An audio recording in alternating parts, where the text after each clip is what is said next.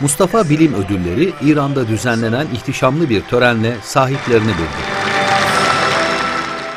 Türk bilim insanı Profesör Sami Erol Gelenbe, çok programlı bilgisayar sistemlerinin performansı, ağ protokolleri gibi konularda yaptığı özel çalışmalarıyla Mustafa Bilim Ödülü'ne layık görüldü.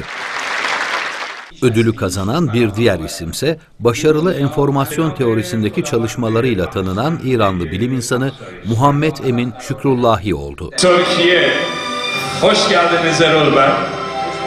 Biliyorsunuz İran halkı Türk halkını gerçekten seviyor ve onlara saygı duyuyor. Çok hoş geldiniz. Gelenbe ödülünü İran Bilim ve Teknolojiden sorumlu Cumhurbaşkanı Yardımcısı Doktor Sorena Settari, İran Akademiler Birliği Başkanı Abdüsselam Mecali ve Meclis Başkan Vekili Ali Rıza Merendi'nin elinden aldı.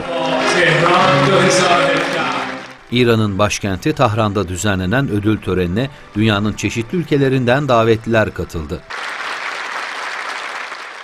İslam dünyasının Nobel'i olarak anılan ödül, geçen dönemde nanoteknoloji ve biyoteknoloji alanlarında çalışma yapan bilim insanlarına verilmişti.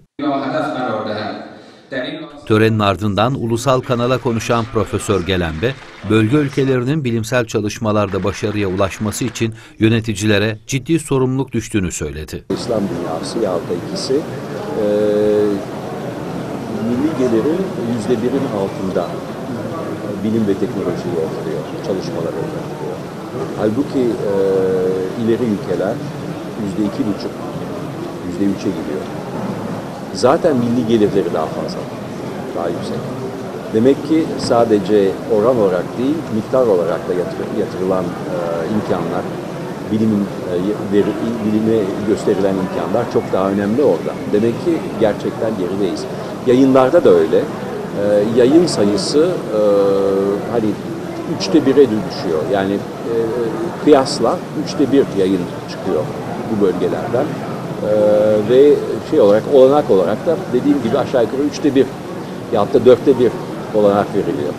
Demek ki genellikle çok geride. E, Türkiye'nin bile e, yatırdığı e, bilim ve teknolojiye miktar bütçe açısından düşük. Yani çok gayretler var fakat her ona rağmen düşük.